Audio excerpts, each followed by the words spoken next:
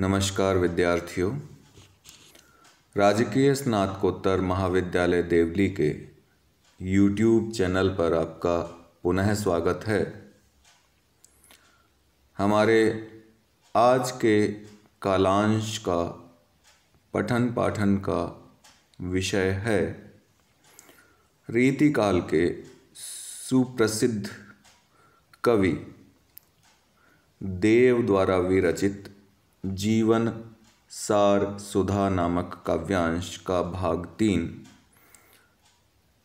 इस काव्यांश के भाग तीन के अंतर्गत जो पद्यांश चुना गया है, वह आपको आपकी स्क्रीन पर दिखाई दे रहा होगा। आइए सर्वप्रथम हम इस काव्यांश का सस्वर वाचन करते हैं।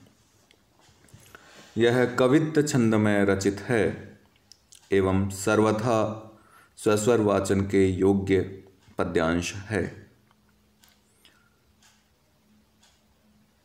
ऐसो जो हो जान तो की, जय है तू विषय के संग।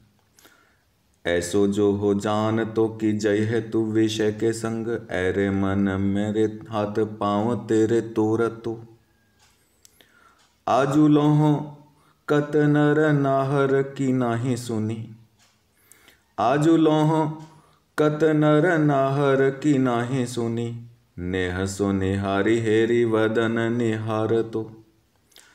चलन न दे तो देव चंचल अचल करी। चलन न दे तो देव चंचल अचल करी। चाबुक चिताबनी मारी मुँह मोर तो। भारो प्रेम पाथर न गारो दे गरे सो बांधी। भारो प्रेम पाथर न गारो दे गरे सो बांधी। राधावर विरद के वारिध में बोर तो। ये था पद्यांश का। क्षमा कीजिए, पद्यांश का सस्वर वाचन।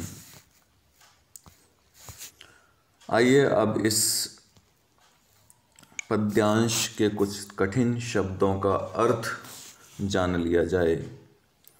विषय शब्द का अर्थ है सांसारिक विषय वासनाएँ।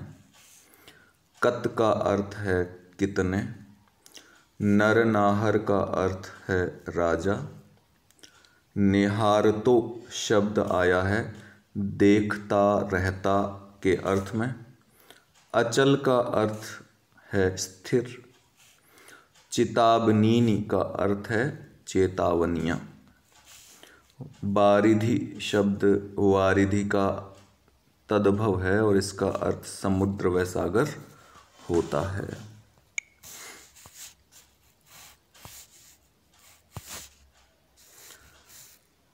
इसके प्रसंग पर दृष्टिपात करते हैं और उसमें संबंधित, उससे संबंधित तीन बातें जानते हैं। आप जानते हैं इस काव्यांश के, पद्यांश के कवि हैं देव।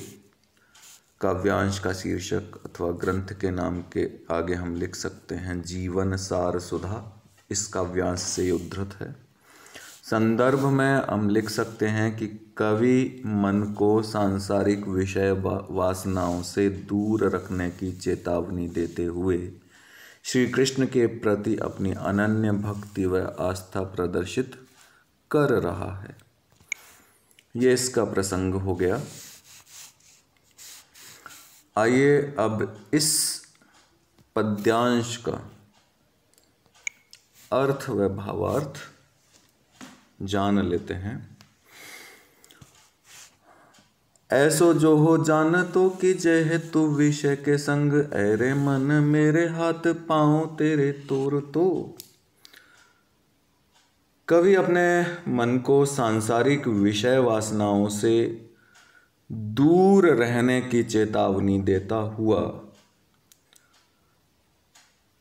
नम्रता पूर्वक वर्णन कर रहा है और श्री कृष्ण के प्रति अपनी अनन्य भक्ति व आस्था को प्रदर्शित कर रहा है और ये करते हुए कह रहा है कि अरे मेरे मन, एरे मन मेरे, अरे मेरे मन, यदि मुझे ऐसा ज्ञात होता कि तू सांसारिक विषय वासनाओं के पीछे दौड़ेगा तो मैं तेरे हाथ पाँव तोड़ देता, क्योंकि दौड़ने का कार्य पैरों से किया जाता है, हाथों से भी किया जाता है, हाथ गति देते हैं, पैर उसका, उसको गति ज़मीन से जुड़े रहकर तेज़ी से गति करते हैं। तो कवि मन की विषय वासनाओं के पीछे दौड़ने की प्रवृत्ति को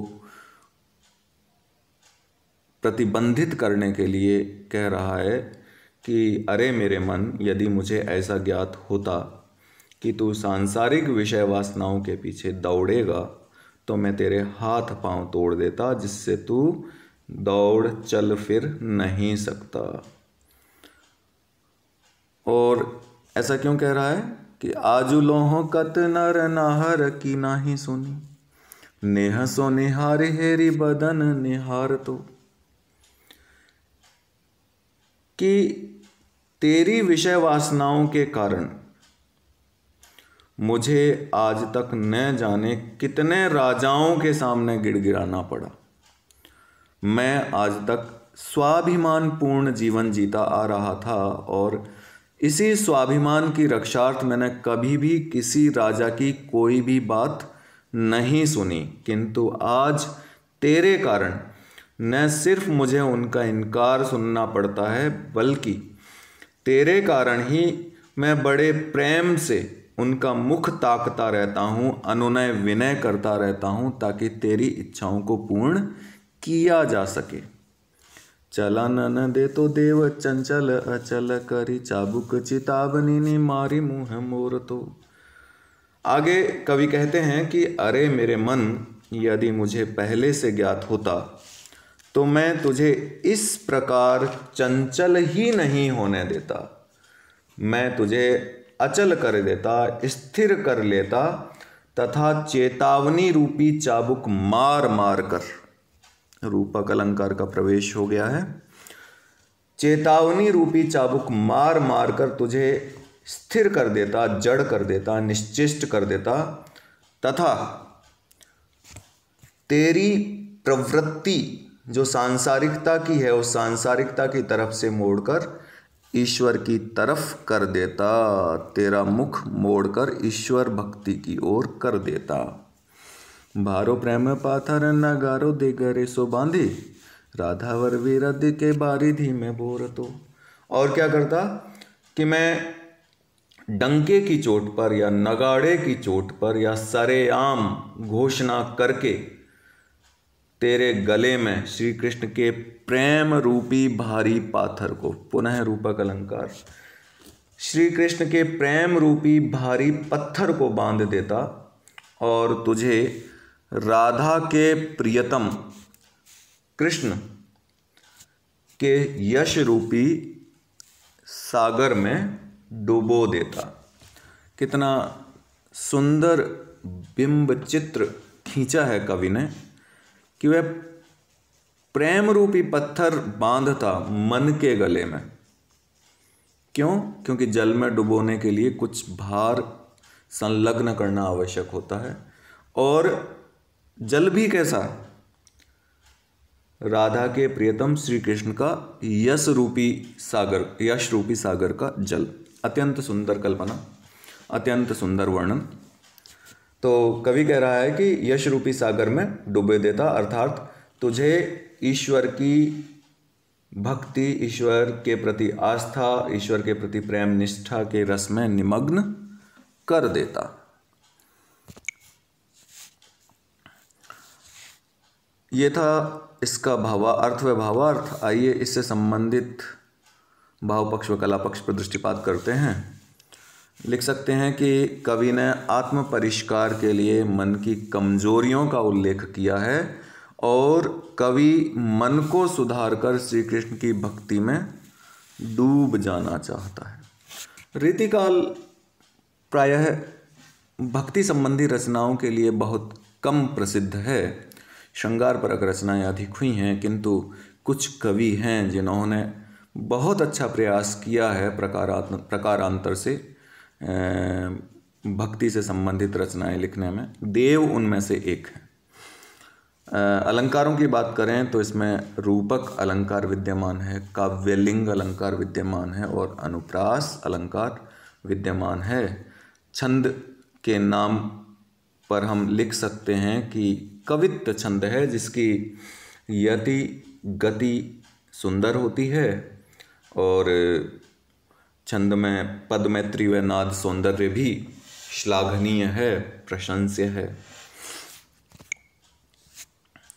आज का गृह कार्य अंकित करने का समय है। गृह कार्य साधारण सा है कि पद्यावतरण में प्रयुक्त छंद व अलंकारों का नाम उल्लेख कीजिए। आपको छंद का नाम लिखना है और जो एकाधिक अलंकार इस छंद पद्यांश में आए हैं, उनका नाम लिखना है।